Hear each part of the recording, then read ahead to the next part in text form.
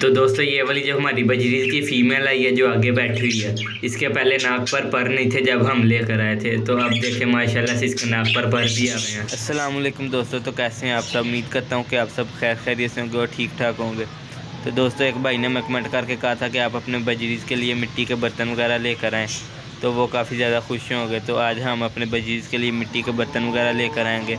तो सबसे पहले हम अपने बजरीज को दाना डालते हैं मिट्टी वाले बर्तन में और बजरीज को अमरूद भी डालेंगे ताकि वो शौक से खाएँ और फिर अपनी मुर्गियों को दाना डालते हैं। तो चलिए वीडियो को शुरू करते हैं। अगर आपने हमारे चैनल को लाइक और सब्सक्राइब नहीं किया तो हमारे चैनल को लाजमी लाइक और सब्सक्राइब करें। तो दोस्तों, हमने अपनी सारी मुर्गियों को खोल दिया। यहाँ पर गंदम वगैरह गिरी हुई है। हमने कहा था कि ये मुर्गियाँ जो जो गंदम वगैरह ज़ाया हो रही है, ये खा लेंगी, लेकिन इन्होंने गंदम नहीं खाई। तो चावल कुछ बचे पड़े थे, वो अब इन्हें डाल देते हैं। गंदम तो इन्होंने खानी ही नहीं। और ये हमारा प्ले मोत का मुर्गा, ये भी जाने देने लग पड़ा। है तो दोस्तों, हमारी मुर्गियाँ, ये देखें चावल कितने शौक से खा रही हैं और यहाँ पर गंदम वगैरह ज़ाया हो रही है, गिरी हुई है नीचे। तो ये गंदम नहीं खा रहे, लेकिन चावल इन्हें बड़े पसंद हैं। तो ये खा रहे हैं। तो दोस्तों, हम ये वाली मिट्टी के बर्तन अपने तोतों के लिए लेकर आए हैं। ये इन्हें हम कनालियाँ कहते हैं। तो इनमें ये वाली जो खनाली है, इसके अंदर हमने अपने तोतों के लिए पानी डाला है। और ये वाली जो खनाली है, इसमें हम अपने तोतों को दाना वगैरह डालेंगे। ये दो अमरूद हैं, एक हम खा लेते हैं और छोटे वाला अपने तोतों को डाल देते हैं।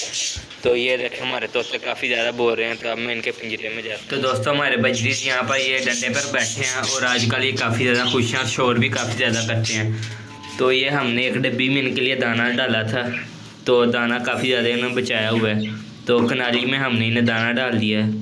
पिंजरा इनका काफ़ी ज़्यादा गंदा हुआ है। कल को इनका पिंजरा भी साफ़ करेंगे। और ये अमरूद ने एक डाला है। देखते हैं ये खाते हैं या नहीं। और ये वाली बोतल में हमने इन्हें पानी वगैरह डाला था।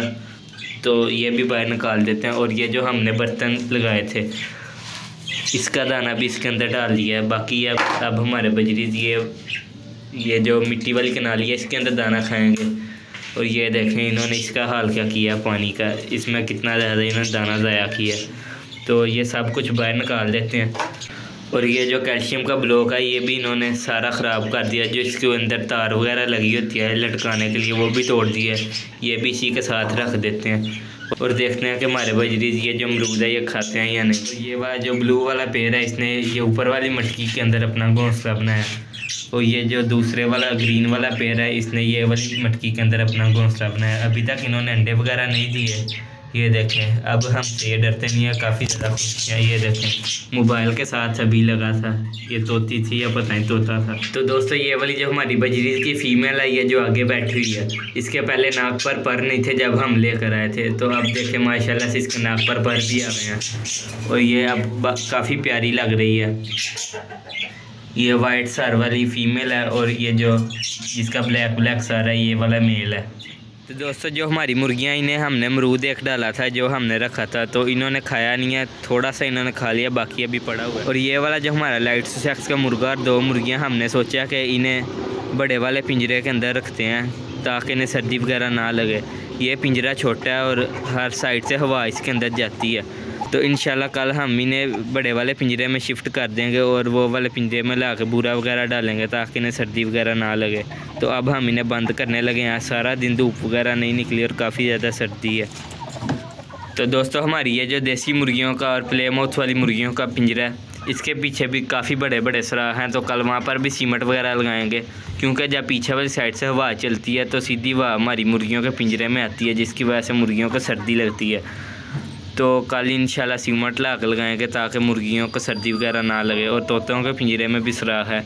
वहाँ पर भी लगाएँगे इन तो दोस्तों, हम जो आज अपने तोतों के लिए मिट्टी के बर्तन वगैरह लेकर आए थे, हमने अपने तोतों को उसी में दाना वगैरह डाला है और उन्हें एक अमरूद वगैरह भी डाला ताकि वो फल वगैरह भी खा लें। तो ये थी आज की छोटी सी वीडियो उम्मीद करता हूँ कि आपको आज की वीडियो पसंद आई होगी। तो अगर आपने हमारे चैनल को लाइक और सब्सक्राइब नहीं किया तो हमारे चैनल को लाजमी लाइक और सब्सक्राइब करें। तो मिलते हैं अगली वीडियो में। तब तक के लिए अल्लाह हाफिज़।